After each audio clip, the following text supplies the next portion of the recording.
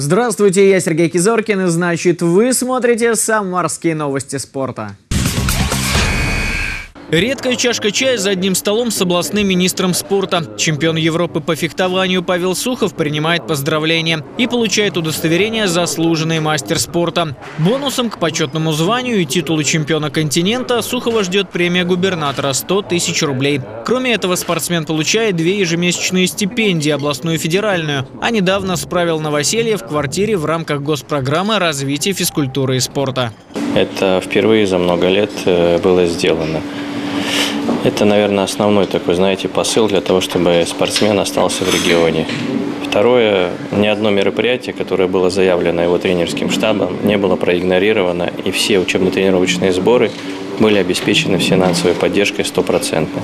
Результат совместной работы на фехтовальной дорожке «Самарский шпажист» в Тбилиси Грузия стал чемпионом Европы в командном зачете. Решающие бои провел именно Павел Сухов. Первый поединок против сборной Украины он выиграл со счетом 5-2. Вышел самарец добывать победу и в заключительной схватке, которая закончилась в пользу российской команды с разницей всего в один укол. Тяжелые были бои, тяжелый бой с, с Богданом Никишиным последний. То есть ему приходилось догонять мне, как приходилось отбиваться. Мы очень часто встречаемся и постоянно а, проводим бои, как в команде, так и в личных соревнованиях. То есть, да, и здесь уже как бы больше была работа на тактику, потому что я выходил, мы вели в счете, то есть и мне нужно было удержать это преимущество. О золотых медалей чемпионата Европы могло и не быть, рассказал тренер Виктор Вдовин. Сборная России до турнира переживала модернизацию. Пришел новый главный тренер команды, поменялась система подготовки. Поэтому старт соревнований получился смазанным. И только благодаря уверенному выступлению самарского спортсмена команда поднялась на высшую ступень пьедестала почета.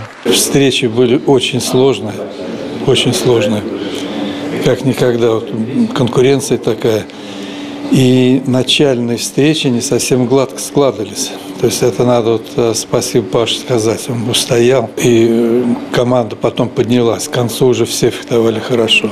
Сборная России по шпаге впервые в истории выиграла золото командного турнира чемпионата Европы. Ранее наивысшим результатом было третье место.